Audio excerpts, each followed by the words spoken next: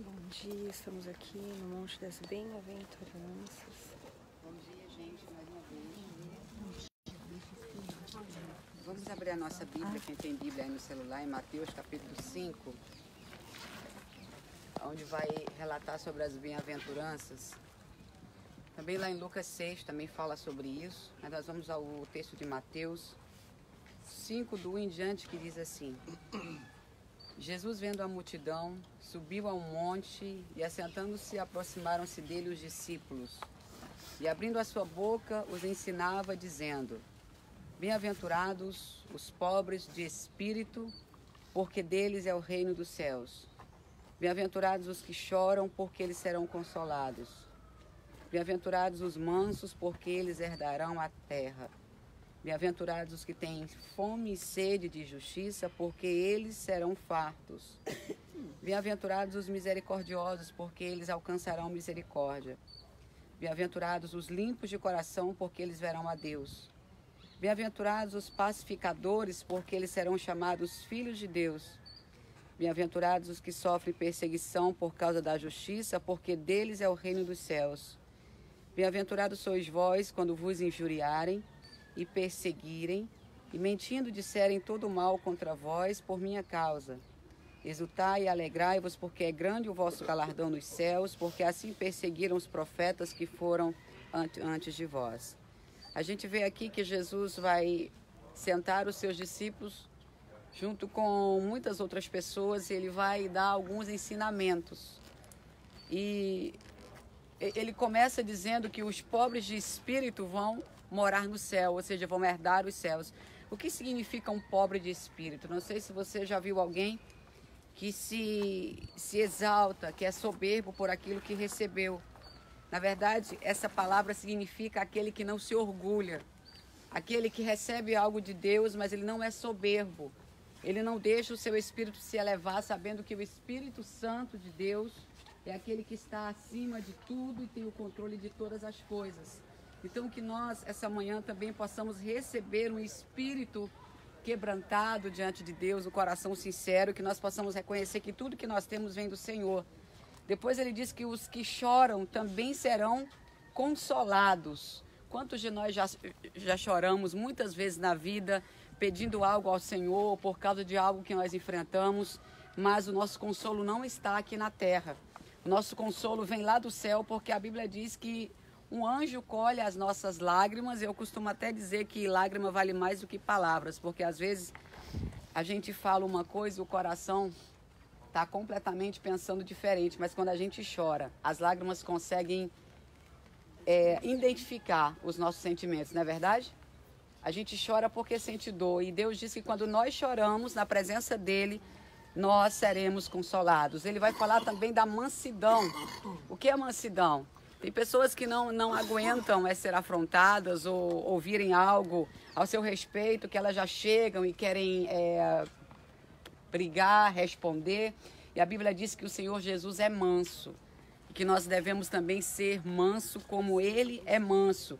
E a mansidão é algo muito difícil. Eu fiz uma campanha sobre é, o, o fruto do Espírito e quando eu fazia a campanha, eu entendi que lá tinha uma coisa que eu não tinha. E eu comecei a pedir para Deus me dar, que era longanimidade. E aqui, quando fala de mansidão, eu lembro também de longanimidade. Então, nós devemos ser mansos. Assim como Jesus é, nós devemos imitar as atitudes dele em tudo. Ele continua e ele vai falar daqueles que têm fome e sede de justiça. Quem de nós nunca fomos injustiçados? Todos nós. Em alguma situação já passamos por situação de injustiça, mas a Bíblia também vai dizer que nós não devemos fazer justiça com as nossas próprias mãos, porque a justiça certa, perfeita, vem de quem? Vem do Senhor. Ele também vai falar dos misericordiosos. O que é misericordiosos? O que significa essa palavra? Eu me lembro que Davi, ele vai é, ficar no palácio enquanto os soldados vão à guerra e a Bíblia vai dizer que ele vai olhar para aquela mulher que não era a mulher dele, Batseba. E ele vai desejar aquela mulher e vai mandar matar o seu marido. De repente o profeta vem até ele e vem trazer uma, uma causa para que ele julgue. E o profeta vai dizer, Davi, Tem um homem na cidade que é rico, pode ter todas as ovelhas, tudo o que ele quiser, mas ele pegou exatamente a ovelha do pobre, a única ovelha. E o que julgamento tu tem a, res, a respeito dele? E Davi, como o julgamento ele achava que não se tratava dele, mas de outra pessoa, ele vai dizer: vamos buscar esse homem e vamos matá-lo. E quando Davi entende que o julgamento estava falando a respeito dele, rapidamente ele se ajoelha e ele vai pedir perdão a Deus, porque para nós é muito mais fácil julgar alguém do que reconhecermos os nossos erros. Então aqui Deus nos ensina a exercermos a misericórdia e a tratarmos o próximo como se fosse fôssemos nós mesmos, como a Bíblia diz, ame o seu próximo como a você mesmo. Então a misericórdia em todos os sentidos deve ser exercida por nós todos os dias. No versículo 8 ele vai falar dos limpos de coração, porque eles verão a Deus. A Bíblia fala que a boca, a boca vai, aliás, é, é, é, a Bíblia fala que a, a, boca vai falar do que o coração está cheio. É ou não é verdade? Às vezes a gente fala uma coisa e diz assim, é só uma brincadeira, mas você falou porque o seu coração está cheio. Toda brincadeira tem um, um ar de verdade, tem um quê de verdade. Então a Bíblia diz que nós também devemos ter um coração segundo o coração de Deus. E será que nessa viagem inteira, o nosso coração hoje aqui no Monte das Bem-aventuranças está segundo o coração de Deus? Nós pensamos como Deus, nós olhamos como Deus, nós agimos como Deus. Será que é possível para mim e para você fazermos isso? Coração limpo não malda, o coração limpo não tem maus sentimentos, coração limpo perdoa, ama, independente da situação ou da pessoa que você precise perdoar ou amá-la ou olhar para ela segundo os olhos de Jesus. Depois ele vai falar dos pacificadores. O que são os pacificadores? Tem muitas pessoas que gostam de gerar contendas. E a Bíblia me, me vai dar um exemplo de pacificação muito interessante. Quando Davi ele vai chegar, agora me fugiu a memória, no determinado lugar, o pastor Paulo pode me ajudar que ele vai pedir água àquele homem que nega e a esposa vem, pastor, por gentileza me ajuda aqui que deu um branco. Pastor Paulo, que é, o marido vai negar água e alimento a Davi, mas a esposa vem. A Abigail é a mulher? Abigail, pronto. A gente pode entender aqui que o esposo de Abigail era um contendeiro. Nabal. Ele gostava. Oi? Nabal. Nabal ele fazia contenda, mas Abigail ela se tornou nessa passagem o que? Uma pacificadora. Pacificadora. A intenção do rei era matar Nabal e toda a sua casa. Mas aí Abigail vai lá e se torna uma pacificadora. Isso serve de lição para nós. Todas as vezes que alguém quer gerar uma contenda, uma confusão, uma fofoca, uma discórdia, a minha e a sua obrigação é sermos pacificadores. Será que nós somos pacificadores? ou nós colocamos lenha na fogueira e deixamos o fogo queimar lá e a gente vai embora e deixa o papoco comer. É assim que a gente diz no Ceará. Porque tem gente que, em vez de pacificar, chega lá e bota mais lenha na fogueira e quer ver o fogo acendendo e cai fora e deixa lá o negócio se quebrar. Isso não é de Deus. Amém? Depois ele vai falar no versículo 10: os que sofrem perseguição por causa da justiça deles é o reino dos céus. Aqui nós podemos ver que Paulo, Pedro, Estevão foi o, o, o mártir que foi apedrejado por causa da palavra de Deus. Pedro foi assassinado, Paulo também foi assassinado. E quando nós somos perseguidos por causa da palavra, a Bíblia diz que se nós não negarmos o nome de Jesus, nós vamos receber uma coroa de vitória lá nos céus. Quantos querem ir para o céu aqui? Então, uma, um conselho que eu vou dar para nós essa manhã: vamos sofrer a perseguição, vamos sofrer a afronta, vamos sofrer as lutas, sem baixar a nossa cabeça, mas como diz o salmista, eleve os seus olhos para os montes. Sempre que eu falo de monte, eu falo de luta, de obstáculo, porque monte, a Bíblia vai falar que se eu tiver fé do tamanho de um grão de mostarda, eu vou dizer aos montes que saiam do lugar e eles vão sair. Então, toda vez que eu, que eu olho na Bíblia, eu leio sobre monte, eu entendo que é luta, adversidade, dificuldade, algo que eu tenho que escalar ou que eu tenho que, de alguma maneira, chegar do outro lado. Vamos lembrar que Jesus ele faz isso por nós em meio à perseguição, quando nós colocamos a nossa vida nas mãos dele. No 11 ele diz: Bem-aventurados sois vós quando vos injuriarem, perseguirem e mentindo disserem todo mal contra vocês por minha causa. E aqui nós vemos exemplo de vários pastores, inclusive no Rio de Janeiro, agora há pouco tempo, um pastor que era, não vou dizer amigo, mas conhecido da gente, que pregava ali nos Gideões, ele se suicidou. E depois, analisando o caso daquele pastor, ele sofreu por muita dificuldade dentro da própria igreja. Ele não teve força para superar isso aqui que diz a Bíblia. Que ele é, deveria ter buscado e entendido que por causa das perseguições ele era um bem-aventurado na presença do Senhor. Mas quantas pessoas não aguentam a perseguição, não aguentam as injúrias, elas acabam se suicidando. Eu estou falando de pastores e ministros da palavra. E quem é que mata hoje as ovelhas e os pastores? A própria igreja. A igreja é o único exército que eu conheço que mata os seus próprios soldados. Porque em qualquer outro lugar o exército é super unido e eles protegem uns aos outros. Então, que nós possamos ser fortes em meio à perseguição, crendo que a justiça vem do Senhor. E quase terminando, ele diz assim: é, exultai e alegrai-vos, porque grande é o vosso galardão nos céus, porque assim perseguiram os profetas antes de vós. E eu quero finalizar com o versículo lá de Apocalipse que diz: Aquele que for fiel até a morte, eu darei a ele a coroa.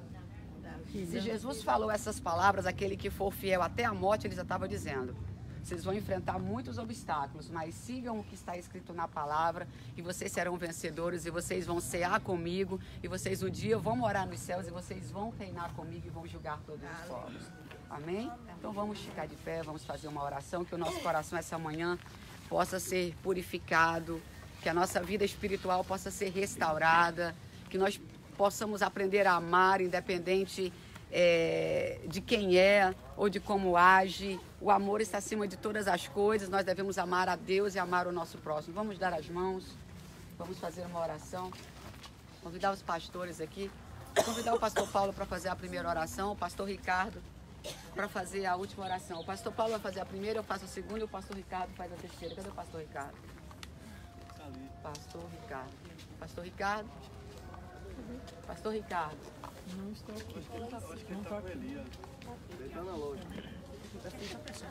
Convidar o pastor, pastor Paulo para orar. Depois a gente ora. Quer o microfone, pastor? Precisa não. Senhor nosso Deus, nosso Pai,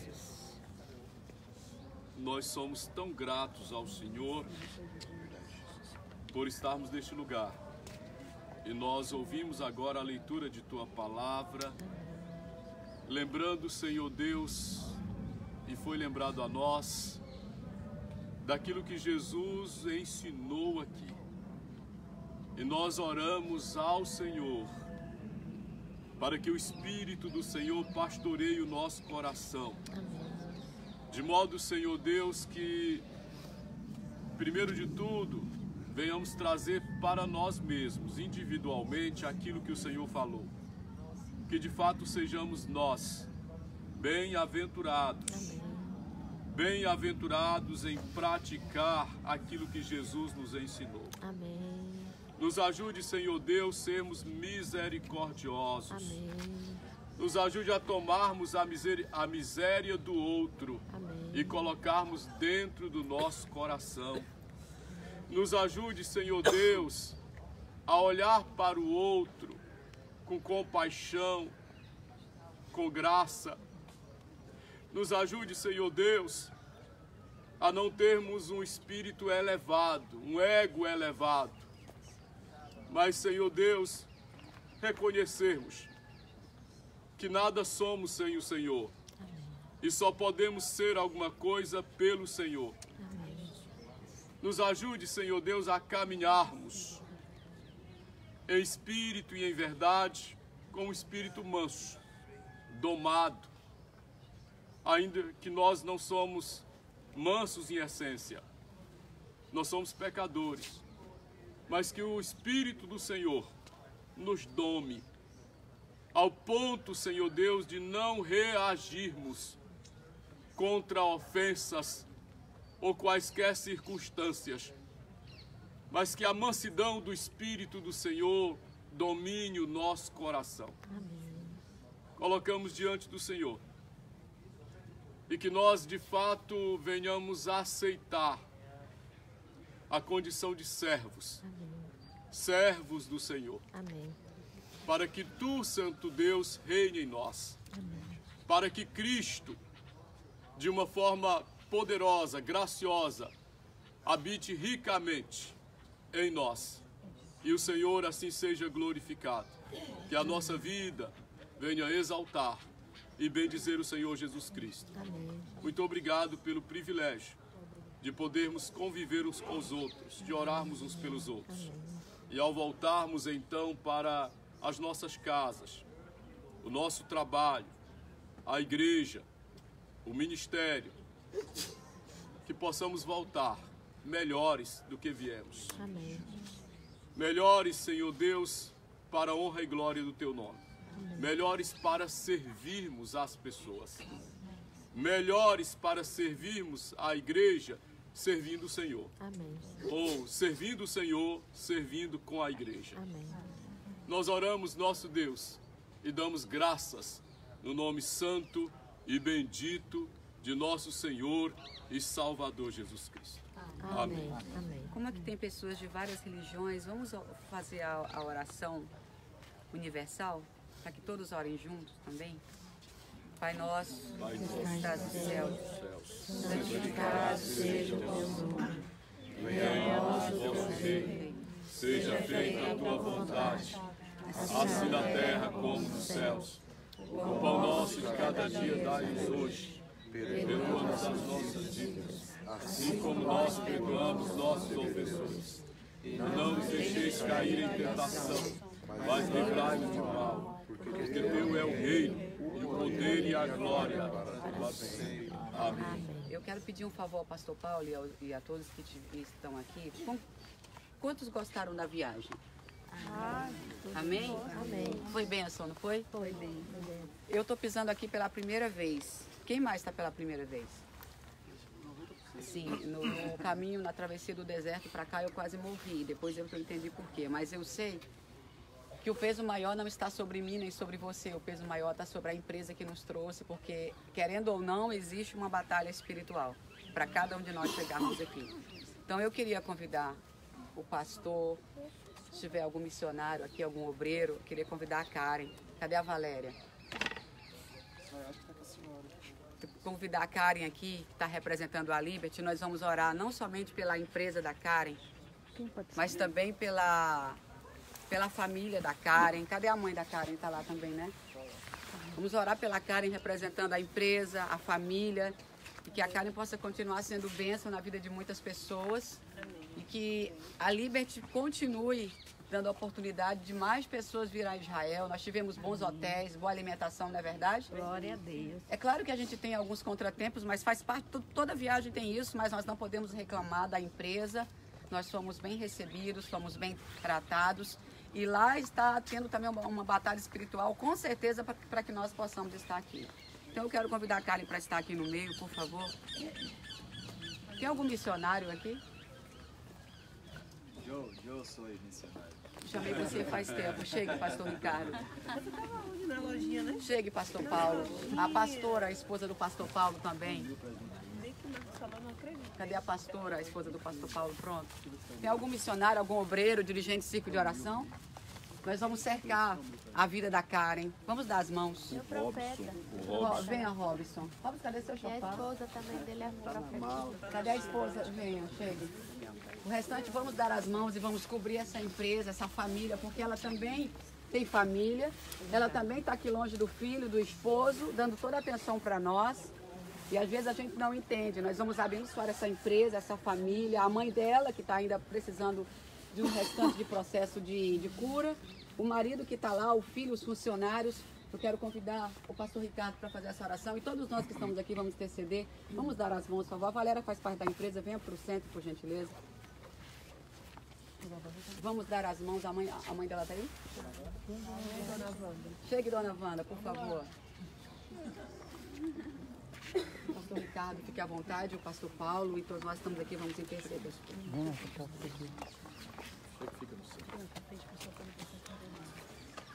Amém. Senhor nosso Deus, mais uma vez entramos na tua presença.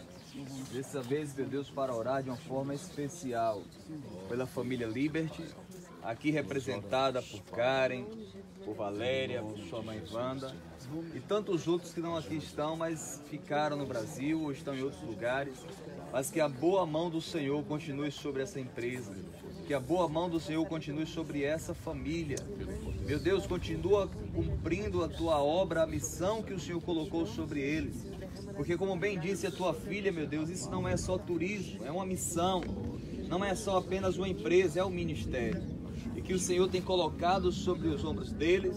E há tantos e tantos anos eles têm trabalhado para trazer tantas vidas à Terra Santa, para viverem uma experiência maravilhosa e sobrenatural com o Senhor. Por isso, meu Deus, aqui neste lugar, nesse monte das bem-aventuranças, queremos declarar sim que essa empresa é bem-aventurada, que essa família é sim bem-aventurada e que eles prosperarão tudo aquilo que eles intentarem fazer, segundo o teu querer e a tua vontade. Tudo aquilo que é de bom, tudo aquilo que é de bênção. Nós unimos a nossa fé nesse momento, meu Deus, dependente da crença de cada um, para declarar que o Senhor fará os teus lagares transbordar, que o Senhor fará, meu Deus, teus celeiros transbordar, que os seus sonhos e projetos estão estabelecidos, e aquilo que ainda não foi feito será feito, e aquilo que ainda não foi aperfeiçoado vai ser aperfeiçoado, e que aquilo que ainda não aconteceu vai acontecer, e que 2019 seja um ano, meu Deus, que eles possam superar os seus limites, romper fronteiras, subir um nível mais acima. E essa empresa será conhecida e reconhecida, não somente no Brasil, mas em todas as nações da terra. E o nome do Senhor será a bandeira deles, o Jeová de si. Porque aonde eles chegarem, o teu nome será glorificado. Assim nós os abençoamos no poderoso nome de Yeshua. Amém. Amém.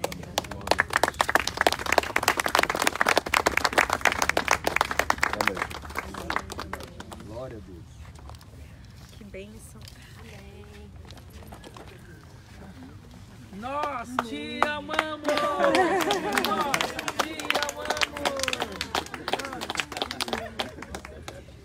Só tenho a agradecer. Olha, é maravilhoso estar aqui mais uma vez. Cada vez, como eu comento com vocês, é um, um aprendizado novo, são pessoas novas e a gente aprende com, com cada um.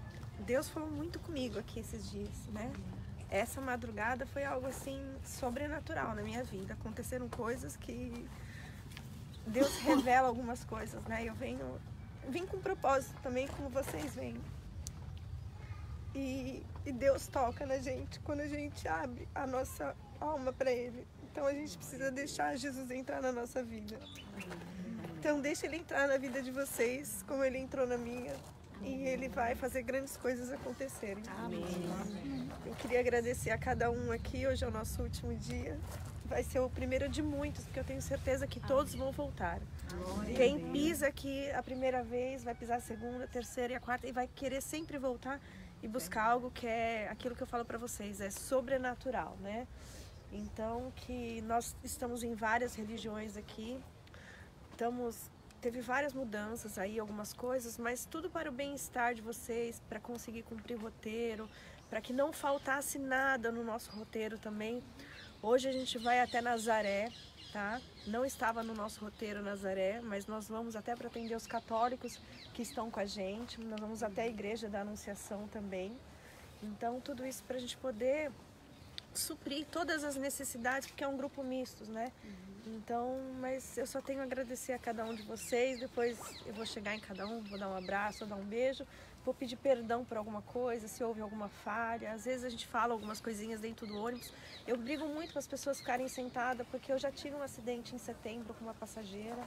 Mas então a gente é cuidado. Isso tudo é proteção, tá? A gente é proteção porque a gente quer que vocês fiquem bem, que nada saia fora do controle. Pego no pé da Valéria, né? Pego no pé da minha mãe também, assim, porque é, vocês veem, né? Eu chamando as duas aqui, mas é que são 50 pessoas, né? Então a gente não pode perder a rédea.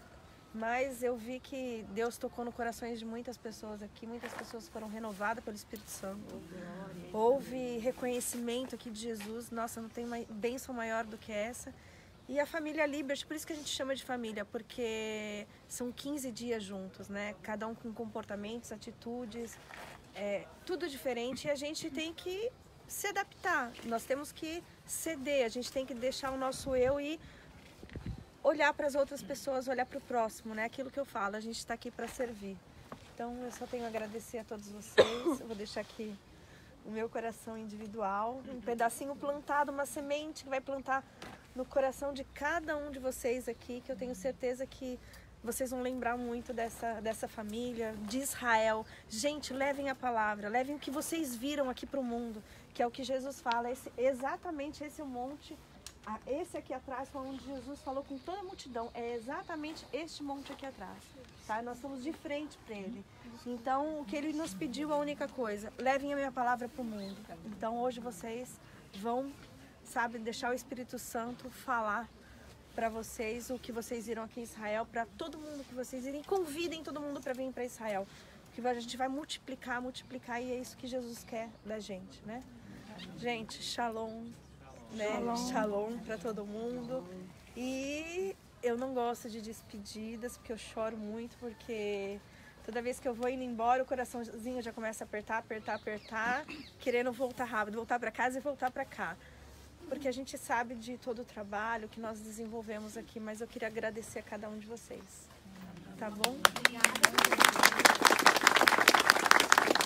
E mais tarde a gente vai entregar um certificado para vocês, né? Após o almoço, um certificado de peregrinação reconhecido pelo Ministério do Turismo aqui de Israel e assinado aqui também pelos pastores que vocês foram peregrinos aqui na Terra Santa. Tá bom? Então Eu fiquem fazer uma oração em nome do, do grupo, né? Como um dos, dos representantes do grupo. Ótimo, seja bem-vinda, Mauri. Pai querido, nós te agradecemos, ó Pai, pela oportunidade de estarmos aqui, porque temos certeza, ó Pai, que Tu eh, nos escolheste para estarmos aqui, ó Pai. O Teu direcionamento, a Tua mão nos guiou até aqui. Ó Pai querido, nós te agradecemos, ó Pai, porque Tu és um Deus grandioso. Para com todos, ó Pai, independente de sermos irmãos ímpios, mas Tu nos dá esse sol, essa brisa, esse ar que respiramos, para os bons, para os maus. Tu mostra a Tua misericórdia, ó Pai, sobre cada vida.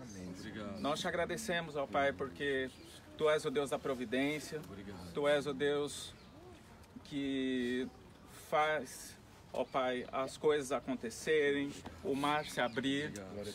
Tu, ó Pai, assim como fizeste com Moisés, ó Pai, de libertar, ó Pai, o teu povo da escravidão do Egito, através de Jesus, ó Pai, tu tens nos libertado da escravidão do pecado. Nós te agradecemos, ó Pai, porque a tua vida nos deu vida. Nós te agradecemos, ó Pai, porque a tua misericórdia dura para sempre, ó Senhor. Ó Pai querido, nós nos despedimos desse lugar, ó Pai, é, agradecidos porque podemos, ó Pai, testificar é, por onde, ó Pai, tu ah, que se fizeste Deus presente entre nós, é, onde tu pisaste, Deus. onde tu, ó Pai, é, é, esteve aqui conosco e, sobretudo, ó Pai, nos deu Meu os Deus, exemplos, nos deu, ó Pai, é, exemplos, ó Pai, de humildade, de mansidão, de domínio próprio, de assim também, ó Pai, como de justiça, assim, ó Pai, como Tu és um Deus da providência, ó Pai, é, não não esqueçamos, ó Pai, do que, que do temor a Ti, ó Pai, Amém. porque assim, ó Pai, como Tu és o Deus da misericórdia, Tu és o Deus da justiça, ó Pai, que nós é, pensemos, ó Pai, nisso com relação à Tua justiça, ó Pai, sobre as, sobre as nossas vidas Amém. e que nós possamos, ó Pai, é, sermos servos fiéis de Ti, ó Pai, e Te pedimos, sobretudo, perdão pelos nossos pecados, ó Pai. Santo Deus. A tua mão, ó Pai, ser com cada um aqui, ó Pai. Santo Deus. Pai querido, te pedimos Em pelo nosso retorno ao Brasil, que tu Sim, estejas, ó Senhor. Pai, abençoando a cada um. Amém. Que cada vida, ó Pai, seja uma nova vida aqui. Amém. A partir desse momento, ó Pai, Amém. nós humildemente te pedimos, ó Pai, que tu faças um marco em nossas vidas a partir dessa viagem, ó Pai. Nós Só temos a te agradecer, ó Pai. Glórias a ti, em nome de Cristo Jesus. Amém. Amém. Amém. Glória a Deus. Vamos só fazer uma fotinho aqui, todo mundo aqui no Monte das Bem-aventuranças? Pode ser aí depois ficar todo mundo livre? Vamos. Obrigada, família. Obrigada por tudo, viu? Bem, bem, tranquilo, oração, bem firme.